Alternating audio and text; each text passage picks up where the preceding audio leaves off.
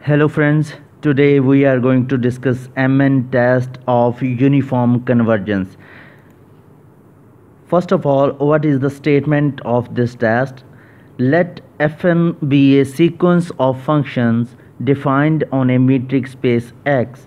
Let limit n approaches to infinity fnx is equal to fx for each x belongs to capital X.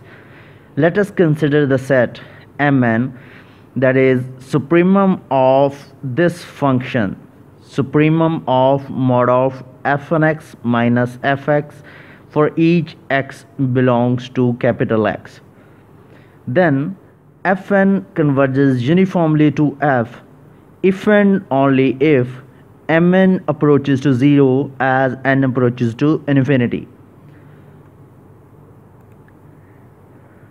Now to understand it consider an example. Let fn x is equal to nx over 1 plus n square x square.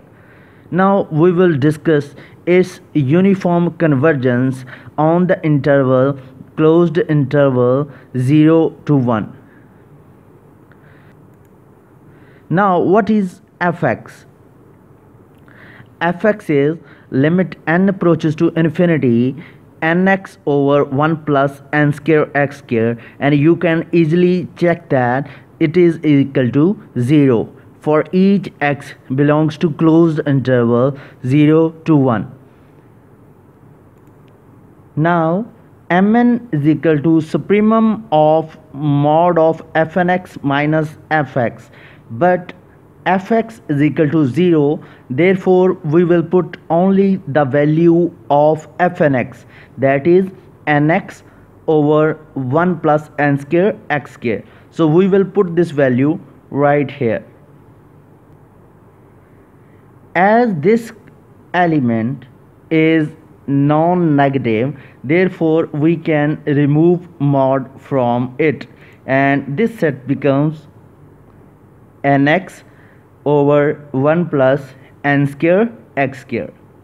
Now we are interested to find the maximum value of this set.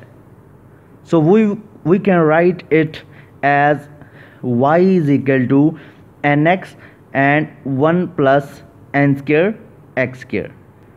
To find the maximum value, we will calculate dy dx.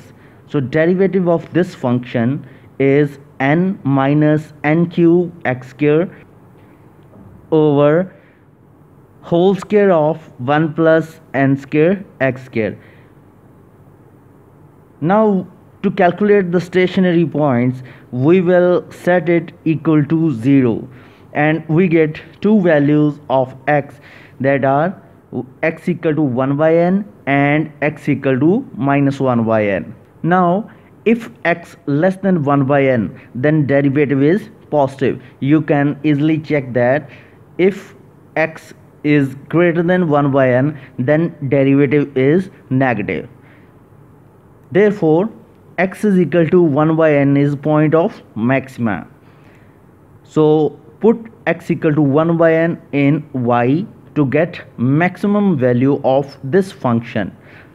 Therefore maximum value of y is n put x equal to 1 by n here in the place of x similarly here.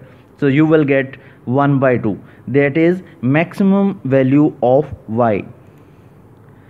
Now mn is 1 by 2 because mn is supremum of this type of collection. And supremum of this type of collection is 1 by 2 therefore mn is equal to 1 by 2 and this sequence will not converge to 0 as n approaches to infinity.